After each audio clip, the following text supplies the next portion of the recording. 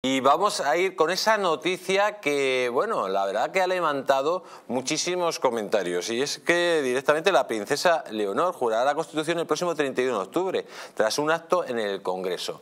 Pero ojo, ese acto, ¿por qué se ha adelantado?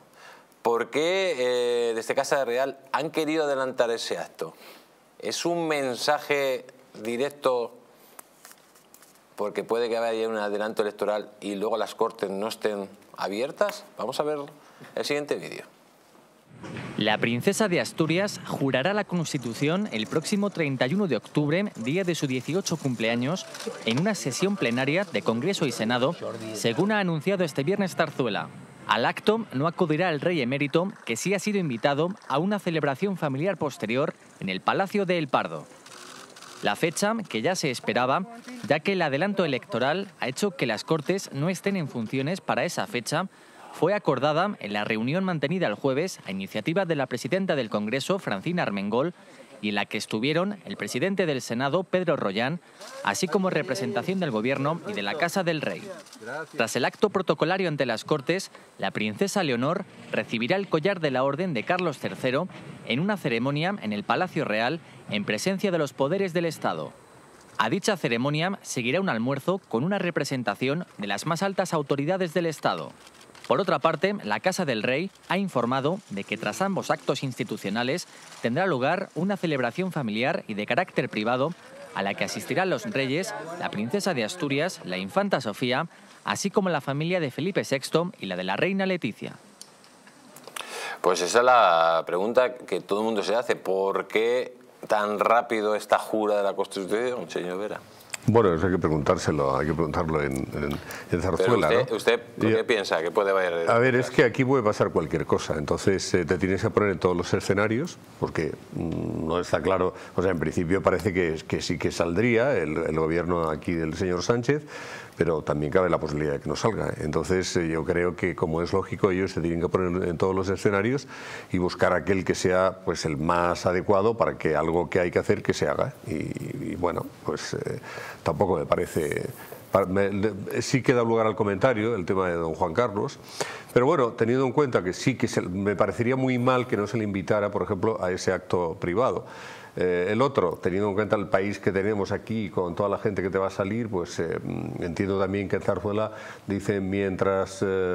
más, mientras menos líos tengamos con los partidos, etcétera, etcétera, pues casi mejor. Y luego, pues efectivamente, si está en ese acto privado, pues es lo que corresponde. Solo faltaba que no estuviera. Señor Tamboleo. El día 31 es el día que le toca, entonces eh, eh, es el día que hay que hacerlo. Eh, yo no veo ningún motivo para que no se haga ese día. Y es más, puede ser... Pero la pregunta no, que, ¿por qué es adelantado, digamos? Pero, ¿y por qué habría que retrasarlo? O sea, porque el día, el día 31 es el día de su cumpleaños, ¿no? Es el día... Sí, pero vamos, pues, que, no han perdido ni un segundo. Sí, sí, pues no han perdido ni un segundo, pues es el día, es el día que le toca. Entonces, eh, es el día más adecuado y es el día más lógico. Tiene que haber, ahí sí que se tiene que intentar eh, proyectar una normalidad de las instituciones. Y la normalidad de las instituciones es que esta eh, señorita, el 31 de octubre, pues cumpla, cumpla con su labor. Ahí no hay más. Puede ser que el día 31 de octubre haya un gobierno de España a pleno rendimiento.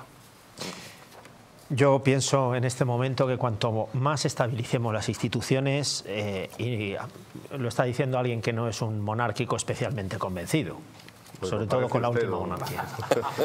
Pero cuanto más estabilicemos las, las, instituciones, muchísimo mejor. La princesa Leonor yo creo que está siendo un ejemplo, el rey está siendo un ejemplo, no hay más que ver. Yo siempre lo recordaré, su bando antiproces. Eh, eso fue un ejemplo internacional, además, eh, repito, de amigos míos desde Estados Unidos lo alabaron.